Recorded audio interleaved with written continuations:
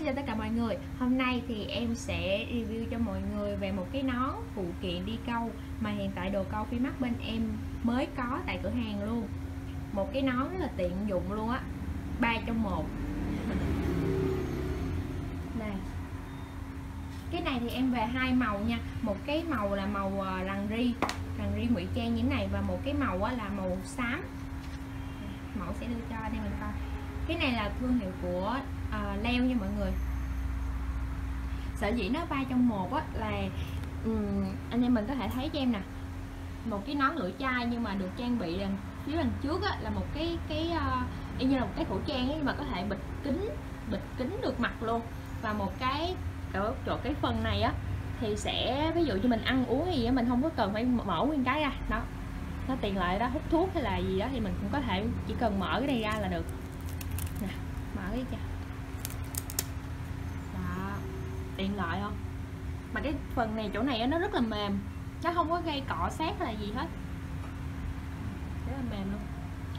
Ở phía đằng sau á, thì anh em mình thường đi câu đi câu rê hoặc đi câu ngâm thì nắng nôi á, thì nó có thể trang bị hai cái này á, để phía ngay cổ thì mình sẽ không có bị uh, nắng chiếu vô hay là gì hết. Khỏi sợ bị nóng luôn. Về chất liệu của cái nón này thì nó được làm bằng uh, cô tông nha.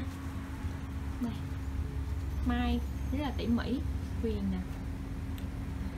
Rất là chống nắng. Quá tiện lợi luôn ba trong một.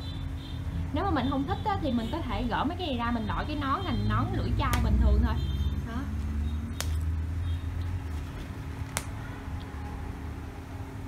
Mẫu sẽ gỡ cho anh em thấy mình cái nón y như là cái nón lưỡi chai bình thường. Cái đẹp. Cái phần này đó đi uh, ví dụ như đi mà sợ gió thổi gì đó um, kéo này lên để buộc vô cái phần uh, chỗ cổ mình để nó không có sợ bị bay cái nón ha. Cái nón này thì hiện tại là còn một màu nữa là màu xám. À, em uh, show màu xám ra cho anh em mình coi luôn. Màu xám thì cái màu nó sẽ hài hòa hơn một xíu so với cái kia. Về cái nón này á, thì nó trang bị những cái dạng như là lỗ lỗ nha để thoáng khí á. Mình không có sợ bị bít hay là bị nóng nữa nha anh em. Nó vừa chống nắng chống nắng mà nó vừa kiểu như là uh, không có bị bí ra không có bị um, gắt nữa. Thì nó cũng trang bị ba trong một như cái kia thôi. Nếu mà mình không có xài cái này á, thì mình có thể là mình tháo ra thành một cái nón lưỡi chai thôi. Đó. Lắp vô cũng đơn giản thôi, anh em mình chỉ cần lắp vô cái khớp này thôi là được. Còn về cái phần chỗ thu dây hay là như nào á, thì cái này cũng rất là dễ sử dụng. Anh em nào mà tùy theo kích cỡ đầu thì mình có thể ờ, thu gọn hoặc là nới lỏng ra.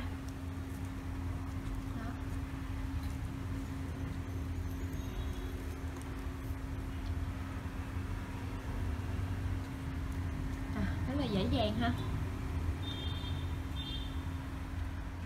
à đó đây em đã đội cái nón này vào nè. Rất là tiện lợi.